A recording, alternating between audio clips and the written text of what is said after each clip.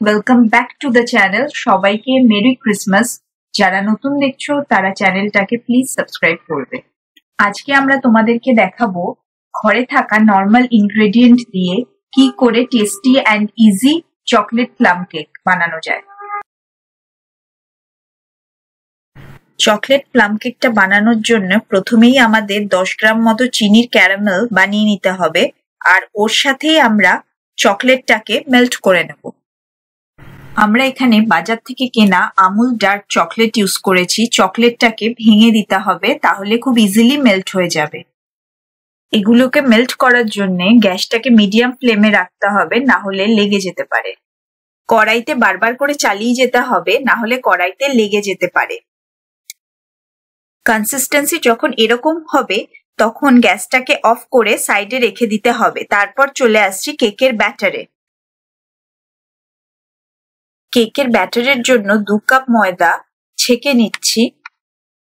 তারপর দেড় table spoon গুঁড়ো দুধ আর পিঞ্চ অফ সল্ট দেওয়া হচ্ছে। সবগুলোকে একসাথে মিক্সড করে নেওয়ার পর এতে একটু একটু করে জল অ্যাড করে ব্যাটারটা বানিয়ে নিতে হবে।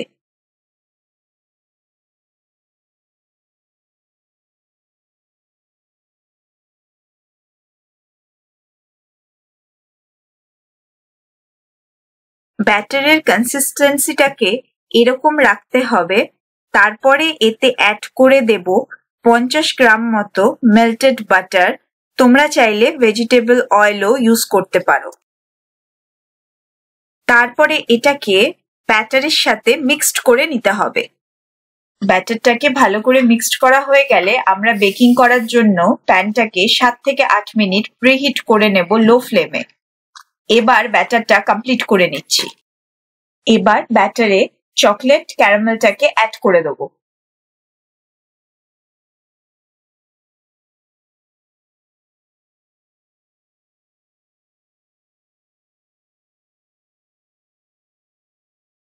চকলেটটাকে খুব ভালোভাবে ব্যাটারের সাথে মিক্সড করে নিতে হবে। তোমরা চাইলে এতে চকো চিপসও অ্যাড করতে পারো। ব্যাটারে চকলেটটা ভালোভাবে মিক্সড করার পর এখানে কিছু ড্রাই ফ্রুটস অ্যাড করে দেব।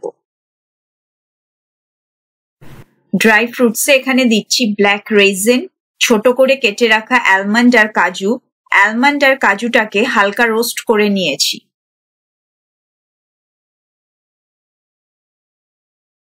ড্রাই ফ্রুটসগুলো এখানে আমি অর্ধেকটা ইউজ করলাম, তারপর ড্রাই ফ্রুটস গুলোকে ভালো করে ব্যাটারের সাথে মিক্সড করে নিলাম। এর মধ্যে হাফ টিস্পুন বেকিং সোডা আর বেকিং পাউডার অ্যাড করে সেটাকে হালকা মিক্সড করে নিচ্ছি। আমি আগেই হাফটা পাতিলেবুর রস আর ওয়ান টেবিল স্পুন জল মিশিয়ে রেখেছিলাম। এবার সেটা অ্যাড করে খুব ভালোভাবে ব্যাটারের সাথে মিক্সড করে নিচ্ছি। ব্যাটারটা ভালোভাবে মিক্সড হয়ে গেলে সময় নষ্ট না করে বেকিং মোল্ডে ঢেলে দিতে হবে। আমি আগেই মোলটাকে রেডি করে রেখেছিলাম। মোলটাকে তেল দিয়ে ভালো করে ব্রাশ করার পর একটা বাটার পেপার দিয়ে দিলাম যাতে কেকটা ইজিলি বেরিয়ে আসে।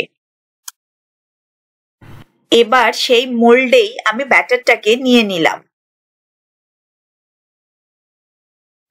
বাকি যে ড্রাই ফ্রুটসগুলো ছিল, সেটাকে গার্নিশিং এর জন্য উপরে ইউজ করে নিলাম।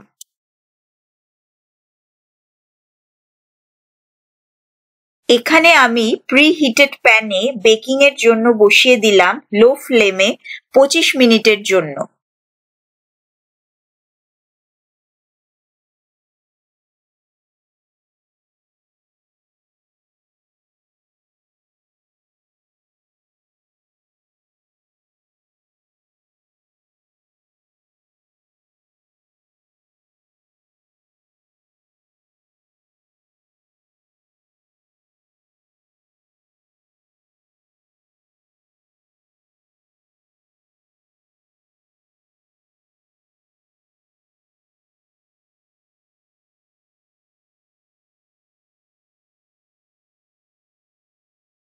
পঁচিশ মিনিট পর আমাদের চকলেট প্লাম কেক রেডি কেকটা অনেকটাই ফুলেছে।